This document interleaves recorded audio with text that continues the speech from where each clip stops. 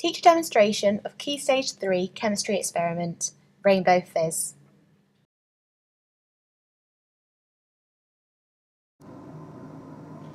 Take a 50ml burette, place in a clamp stand.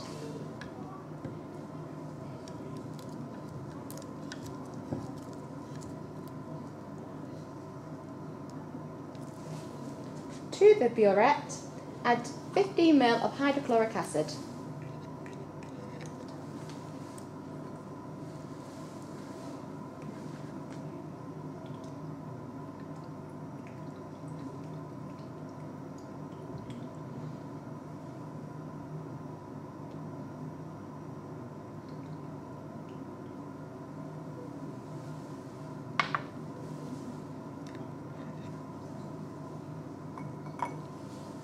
Next, add a few drops of universal indicator so that the acid turns red.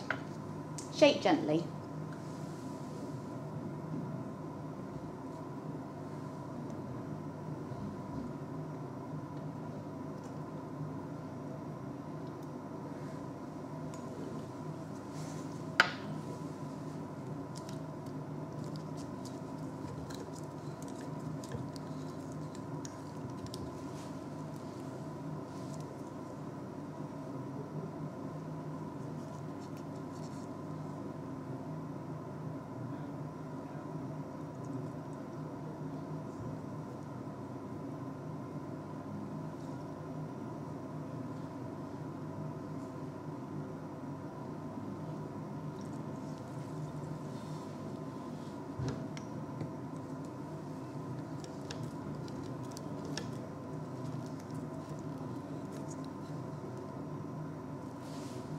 Make up a solution of sodium carbonate.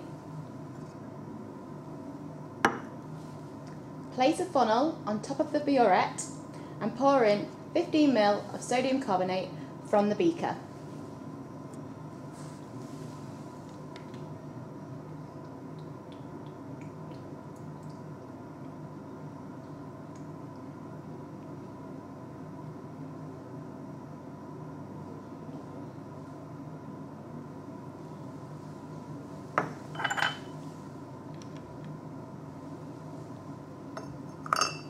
Watch the reaction, especially where the acid and alkali meet.